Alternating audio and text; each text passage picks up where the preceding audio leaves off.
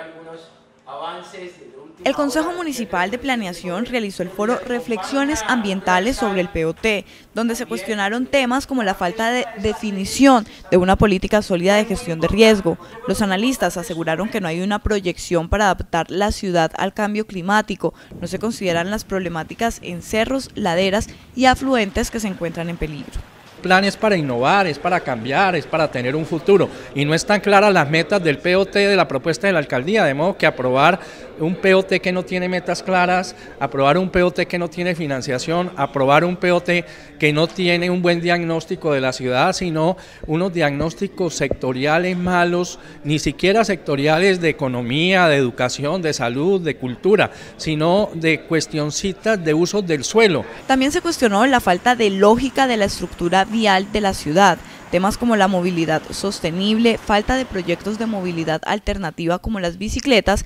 la ausencia de calles exclusivas para peatones y la poca participación de la ciudadanía hicieron parte de las denuncias presentadas en este foro.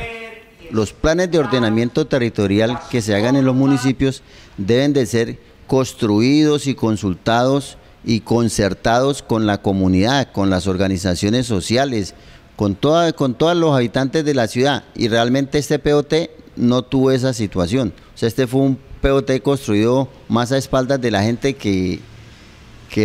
para recoger sus opiniones y sin embargo aquí no hubo ese ingrediente de la participación ciudadana como dice la ley. El jueves 25 de septiembre a las 10 de la mañana es un día decisivo para el POT en el Consejo de Cali. Por eso los líderes de las diferentes comunas están convocando a la ciudadanía para que asista a esa corporación y exprese su inconformidad con este proyecto que según ellos de aprobarse hundirá a nuestra ciudad en el atraso y la exclusión social.